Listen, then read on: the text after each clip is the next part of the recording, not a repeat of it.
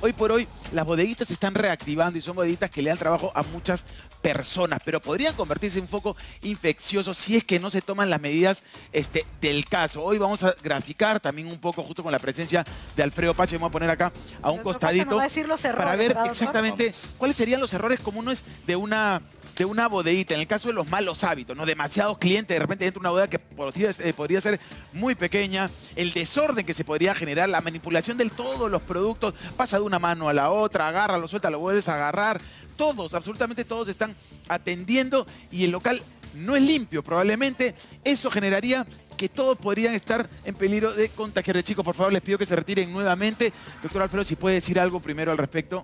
Bueno, como verás, eh, no estaban guardando la, la distancia. El personal que atendía, podemos ver, Ale, que está con la mascarilla debajo de la nariz. O sea, habría que protegerse ahí, sería importante Miguel, los guantes que están con los... y la mascarilla. No, no estaban usando los guantes.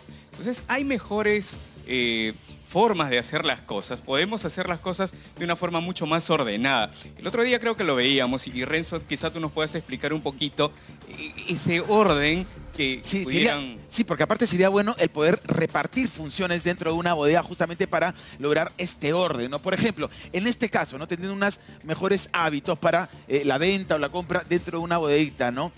A ver, una persona podría ser tal vez la, eh, la encargada de organizar a los clientes, como es la que estamos viendo, y tomar el pedido de cada uno de ellos, como se está, estamos viendo ahorita en pantalla, doctor. Claro, eh, lo- lo- eh, los clientes pudieran estar afuera de la bodeguita haciendo la cola y alguien tomarles el pedido a cada uno. Y mejor todavía si uno ya lleva el pedido desde su casa. Claro, ¿no? En su casa ya todo el papelito anotado. para que luego haya una persona que se encargue, solamente una, de este, guardar los productos, obviamente, que el cliente está necesitando. Cada quien con una labor determinada, justamente para guardar el orden y, y evitar la posibilidad de contagio. Y hay una persona específica para el cobro de los productos. Claro, de esa manera el cliente puede entrar Recién ahí. Ahí recién, ahí ya con eh, específicamente si puede con una cantidad específica de dinero, ¿no? Y eh, El gel respectivo. hacer el pago correspondiente y ya luego al final le tienen que dar su alcohol gel para que también se limpie la mano y vaya limpio a casa. Así es, es importante. Por eso es bueno recalcar ciertas cosas eh, y, y dejarlo eh, en sus respectivas eh, bodegas, como para que la gente, el público, sepa eh, perfectamente qué hacer a la hora de llegar. No hay cambio de 100 soles 50, pagar con sencillo. Si tiene, ahí está, dejar esto acá, por ejemplo. Ahí está, Pagar con sencillo, sí. sencillo. Vamos con la siguiente, por favor, doctor, para colocar dentro de las eh, bodeguitas, porque esto va a ayudar obviamente a los clientes, ¿no? Mantener la distancia social. Fundamental, fundamental. Por lo menos uno o dos metros, ya saben, hay que eh, estirar nuestros dos brazos para saber cuál es la distancia. Luego, eh, hacer el reparto a domicilio.